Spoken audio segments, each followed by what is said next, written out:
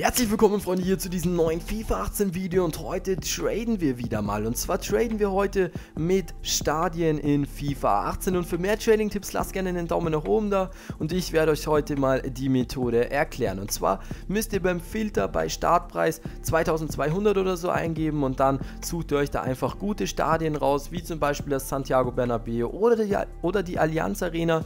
Und dann müsst ihr diese Stadien ähm, ja, euch raussuchen und dann eben auf den Preis Preisvergleich gehen und dann auf die Stadien bieten. Und Leute, ihr könnt da sowas von Easy Coins machen, das könnt ihr mir echt glauben. Denn das ist halt einfach so, dass auf Stadien fast keiner bietet. Ja, jeder hat ein Stadion sich einmal gekauft oder so und dann schaut halt keiner mehr drauf. Und wenn man sich ein Stadion holt, dann will man auch nicht warten, bis man es erboten hat, sondern nimmt sich es eigentlich meistens per Sofortkaufpreis einfach mit.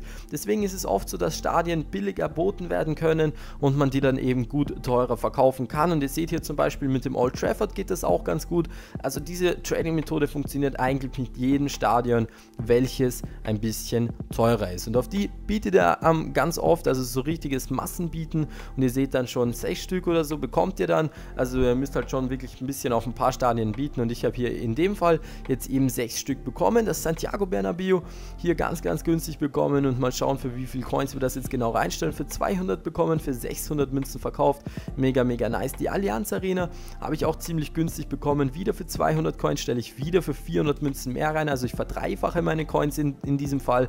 Dann haben wir das Wembley bekommen für 150. Das habe ich für 400 Münzen reingestellt. Ist auch eine richtig, richtig schöne Sache. Ein richtig guter Gewinn. Dann hier nochmal das Old Trafford für 150. Können wir für 500 verkaufen. Ihr könntet in der Theorie diese ganzen Stadien noch doppelt so teuer verkaufen.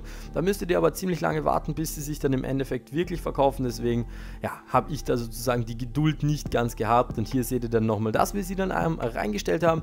Und ich muss direkt sagen, die Allianz Arena, die habe ich verkauft, habe sie aber unabsichtlich mal gelöscht. Das war, glaube ich, eh sogar auch während einem Stream.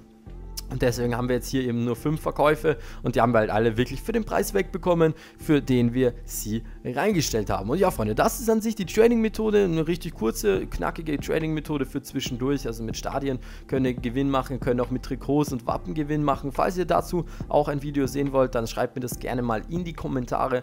Und dann war es das an sich auch schon wieder von meiner Seite.